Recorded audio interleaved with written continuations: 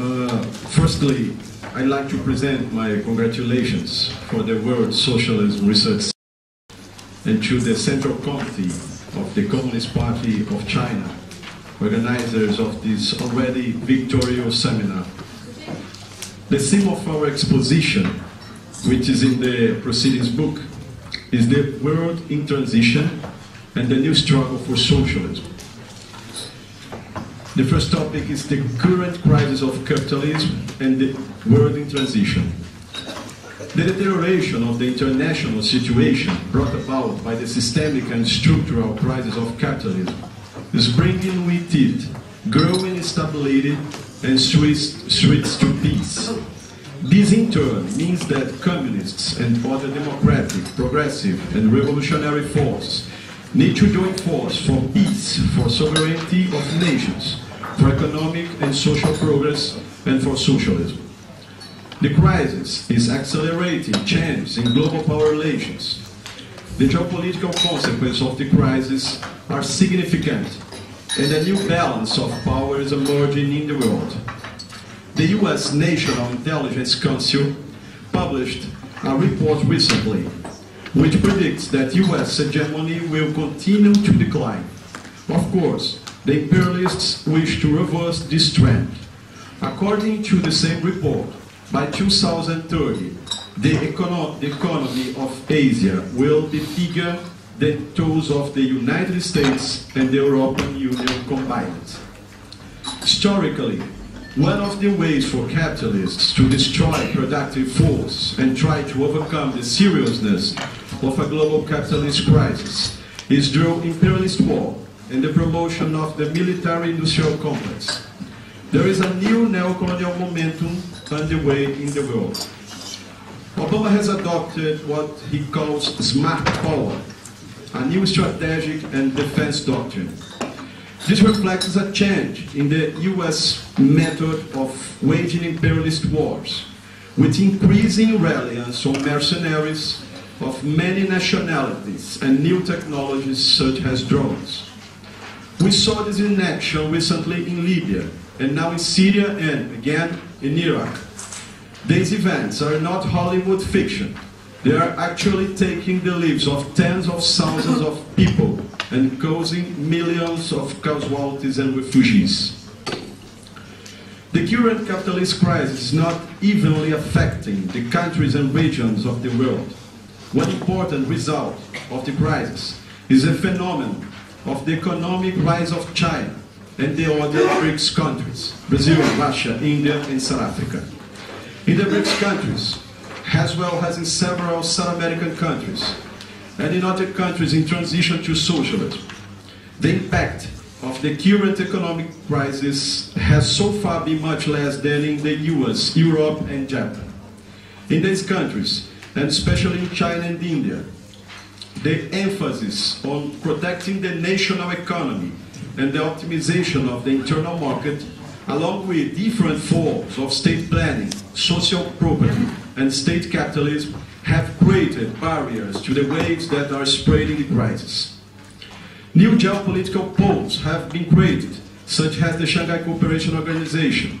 Another powerful pole is emerging through the process of the integration of Latin America and the Caribbean.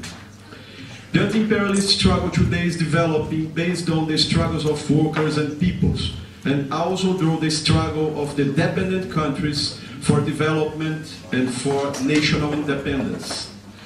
Developing countries that struggle for national sovereignty are strengthened in this end by the uneven development of capitalism and have objective contradictions with the imperialist countries. Therefore, they play a counter-hegemonic role in the world that assists and creates better conditions for the international struggle of peoples for their national and social liberation, thus creating better conditions for the struggle for socialism. The unity of the communists and revolutionaries and the anti-imperialist front. As well as striving for greater unity among communists, it's necessary to create extensive political and social fronts in order to achieve peace national independence, and economic and social progress. One of the lessons we should draw from the first experience of, of the construction of socialism in the 20th century is that the transition to socialism comprises steps and phases. It's not direct, but it's more complex and prolonged. Moreover, there is no single model of socialism, nor is there a universal path for conquering political power. From revolutionary Marxist-Leninist theory and the national advanced thought of each specific socio-economic formation, every people and every revolutionary force will create its own path to socialism. Proletarian internationalism and anti-imperialist alliance are fundamental to communists, while we accentuate the need to increase friendly relations and cooperation between communists, progressive, and revolutionary forces we also emphasize that the relations among those forces should be based on equality, mutual respect, and no interference in internal affairs. Exchanges between and the unity of action of revolutionary lefty forces are essential, such as in the case of the International Meeting of Communist and Workers' Parties, and the case of the successful Latin America experience of the Sao Paulo Forum, which recently celebrated 24 years of existence. The current, the current experience of transition to socialism remains and are renewed. In the current historical conditions, we are convinced that socialism cannot be built immediately without the mediation of steps and phases. A close examination of history shows that the building of socialism and the evolution towards a classless society, the communism, is the work of many, many generations. We need to resume the struggle for socialism in the new conditions of the 21st century has the concept of the new struggle for socialism developed by the president of the Communist Party of Brazil, Comrade Renato Rabelo. The beginning of the 90s was marked by widespread losses for the revolutionary movement and for socialism, owing to difficulties in maintaining the communist parties and other revolutionary forces in an environment of demoralization, discrediting, and failure. This environment is not yet fully overcome. The situation is still one of strategic defense, but we are making a new beginning and all of this only 20 years after a major defeat, which isn't much in historical terms. On the one hand, assessing the great socialist experiments of the 20th century, we can see that there were great economic, social, political, and cultural successes and historical advances, such as the victory of the Soviet Union against Nazi fascism and Second World War, and decolonization of Africa and Asia. On the other hand, mistakes were made, and we should take lessons from problems that occurred. Many of these problems have not yet been completely corrected, and they continue to occur in the current experience of transition to socialism and in the ideas and actions of the communist and revolutionary force at present.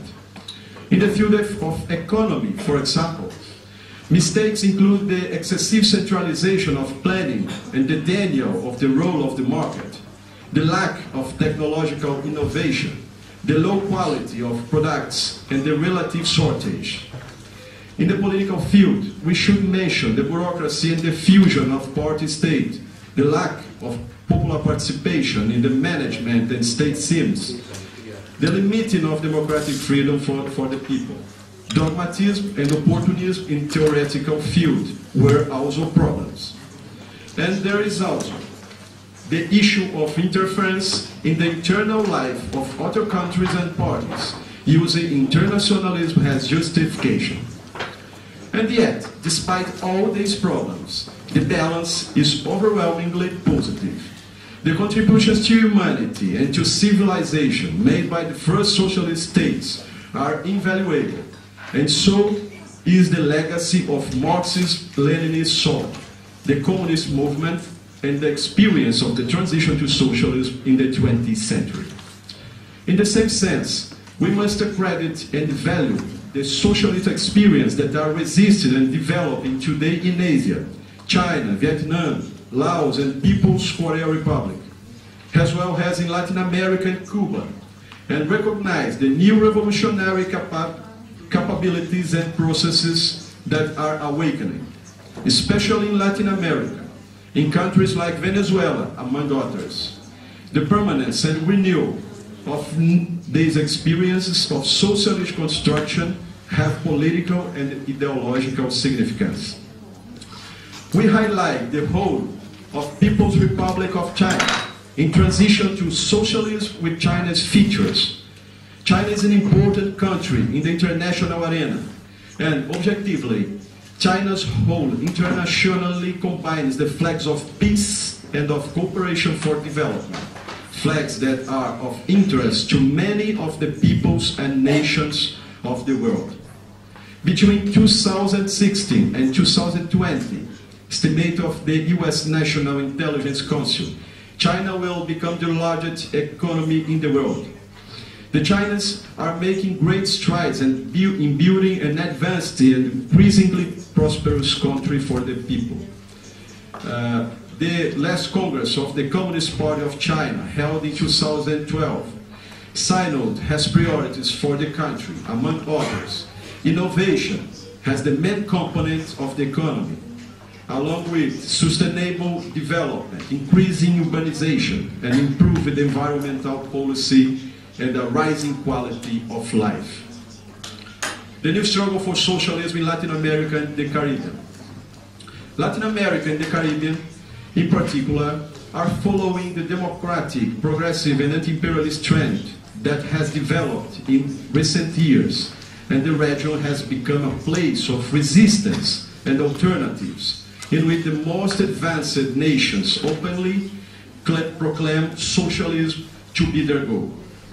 Participation in the political, anti-imperialist, democratic and progressive fronts that govern important parts of these countries is facilitating the advance of communist and revolutionary parties in Latin America, aiding them in their revolutionary accumulation of force. A minute, please.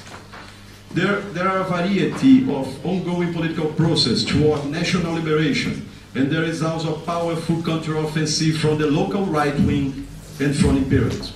However, the trend that is presently developing in Latin America and the Caribbean has the over, overwhelmingly anti-imperialist and anti-neoliberal bent, reflect, reflecting the wish of the people for alternatives to dependent capitalism. The strengthening of national independence is common to all these progressive countries, and in some, this is also geared toward the transition to socialism. As the Peruvian communist leader, José Carlos Mariátegui, used it to say, in our Latin American countries, socialism cannot be either a decal or a copy. It must be a heroic creation of our people, or it will never be. Such was the Cuban Revolution, and so is the economic updating and the improvement of Cuban socialism. Such also is the process of the accumulation of revolutionary force taking place in Venezuela, Bolivia, and Ecuador, where there are more advanced experience. Despite having predominantly capitalist economies, these South American countries rely on new constitutions that affirm their socialist orientation. There are important elements of popular power and the process of the socialization of the fundamental means of production has already begun. Currently, in Brazil, a very important part of Latin America, we are struggling, struggling to maintain national governments with a progressive and anti-imperialist orientation, representing a share of power and inaugurating the challenge of building not only more democracy, but also a new popular power. It requires a differentiated and extended process of accumulation of force, in which one of the main tasks is the need to update and renew revolutionary theory, starting from a concrete, specific, national, and continental reality. Thank you very much.